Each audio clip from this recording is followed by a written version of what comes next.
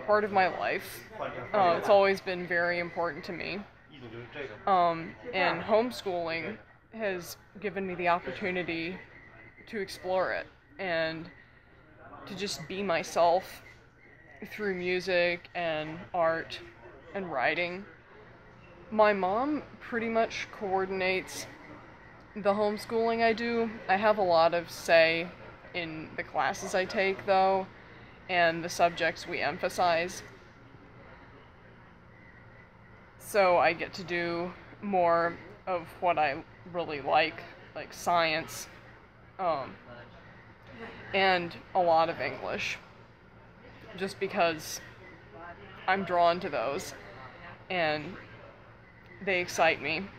Not as much as the arts do, but they uh, they're kind of my second my second priority.